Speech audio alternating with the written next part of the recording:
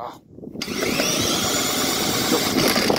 oh I forgot to put the spark plug back on. That's my off switch.